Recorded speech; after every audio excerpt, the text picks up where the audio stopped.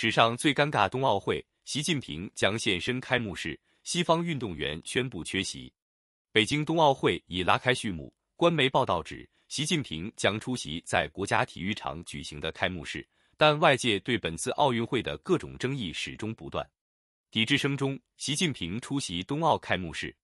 据中共官媒报道，中国国家主席习近平将出席在中国国家体育场举行的北京冬奥开幕式，并宣布本届冬奥开幕。习今天也在国际奥委会会议中称，中国已为简约。安全和精彩的奥运盛会做好准备。中共官媒新华社的报道还特别强调，习近平今天透过视讯向国际奥委会第一百三十九次全会开幕式发表致辞时，指目前世界百年未有之大变局和世纪新冠肺炎病毒疫情叠加，人类面临多重困难。外媒报道指，作为对美国、英国和澳大利亚等西方国家外交抵制的回应。北京上周公布了一份将出席奥运会的二十位世界领导人的名单，除俄罗斯总统普京之外，还有包括沙特阿拉伯、巴基斯坦和阿联酋等国。欧洲方面则有波兰和塞尔维亚。就是否加入美国等国家外交抵制冬奥行列态度态度不明确的德国总理肖尔茨周四宣布不出席北京冬奥，但未说明原因。法新社报道援引观察说。与2008年盛大的首次举办奥运亮相相比，此次冬奥会民众的热情和参与感其实很低。报道引述法国里昂商学院的体育专家西蒙·查德威克观察说，中国中共正试图降低奥运会的温度，其原因是几个月来北京发现自己处于了人权争议的中心。尽管如此，评论认为，在全球疫情蔓延、国际抗中气氛环绕下。此次北京冬奥注定是一场无法被忽视的奥运。日本知名经济评论家门仓贵史却在相关新闻下留言，大叹北京办冬奥就只是想向世界炫耀国力，但这其实已造成全球环境的负担。史以来最不环保的冬奥，运动员安全受到威胁。先前已有不少外媒爆出，北京冬奥将成为百分之一百使用人造雪、没有天然雪的首届冬奥。法国《世界报》曾痛批。认为，虽然北京当局总是吹嘘自己使用的是绿色技术，但这届冬季奥运恐怕将成为有史以来最不环保的冬奥。今天，门仓贵史在日本雅虎冬奥相关新闻下方留言，明确指出，由于天气因素，能够举办夏季奥运的城市和举办冬季奥运的城市通常都不相同。除了北京之外，中国明明就有更适合举办冬奥的城市，但为了向全世界展现国力。还是刻意挑北京当举办城市，人工造雪需要大量电力，将大幅增加成本，也将对地球环境带来负担。今天，日本队报告说，日本单板滑雪运动员吉香丽娜星期四在北京奥运会训练期间脊柱严重摔伤，将无法参加大空翻和坡面滑雪项目。引致摔伤原因尚不清楚，但美国运动员指滑到人工雪致使道面有硬度，缺少自然雪松软。据美国单板滑雪运动员杰米·安德森 （Jamie Anderson） 承认，在坡道上训练时感到害怕。他说，滑道表面非常硬。杰米·安德森是两届奥运会冠军。他说：“我认为大部分滑道表面都是人造雪铺洒的，所以它并不理想。”安德森还说：“你肯定不想在上面摔倒，因为北京冬奥会是第一届几乎完全依靠百分之一百人工造雪的冬奥会。”北京是中国最干燥的地区之一。为了造出能够覆盖雪道的雪，动用了一百多台造雪机和三百多门雪炮。根据英国拉夫堡大学的一份新报告，冬季奥运会的未来正受到气候变化的威胁，运动员的安全可能会受到威胁。报告的合著者、拉夫堡大学的运动生态学家马德琳·奥尔 （Madeline Orr） 在接受《美国之音》采访时说，在冬季两项。越野滑雪或任何自由式滑雪项目中，运动员在空中翻滚和下落，你会希望地面更软一些。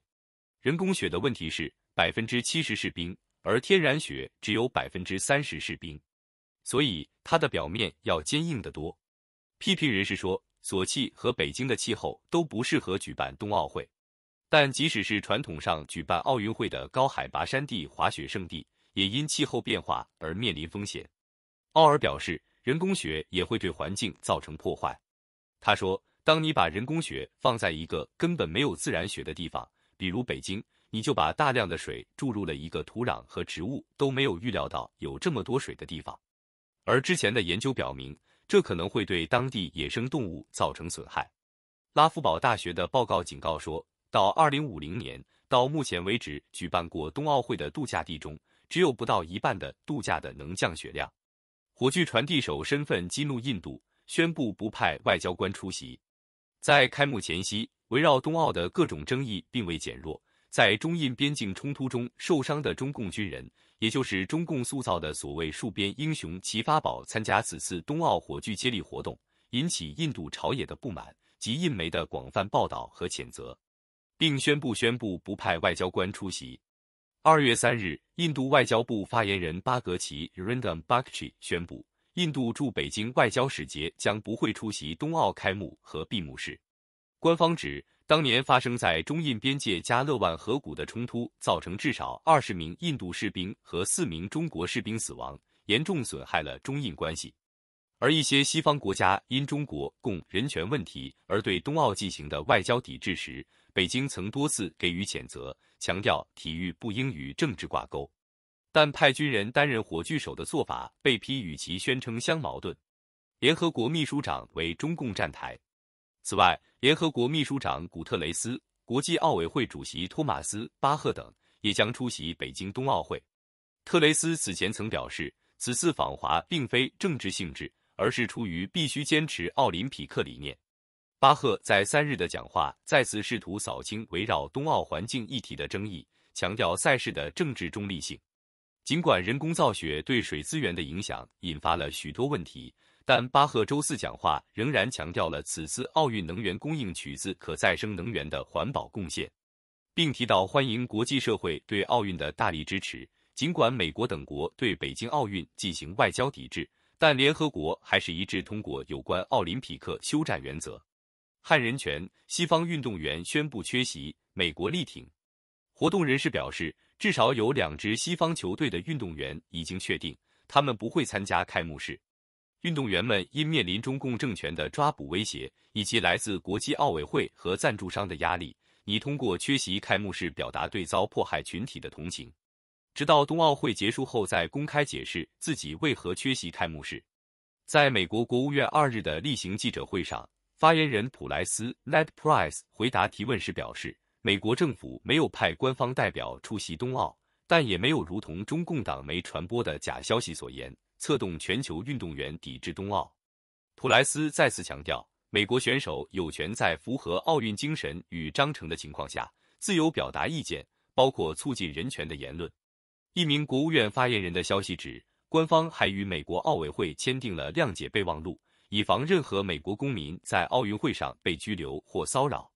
运动员可能背葛开幕式和闭幕式一事，似乎已经引起中共当局和国际奥委会的注意。台湾代表团上周宣布，运动员不参加开闭幕式后，国际奥委会几次向台湾奥委会施压，最后迫使台湾改变了决定。本周，中共党媒开始散布谣言，声称美国政府正在付钱给运动员，策划扰乱冬奥会。美国政府则指控中共党媒及假信息，转移外界关注中共迫害人权的视线。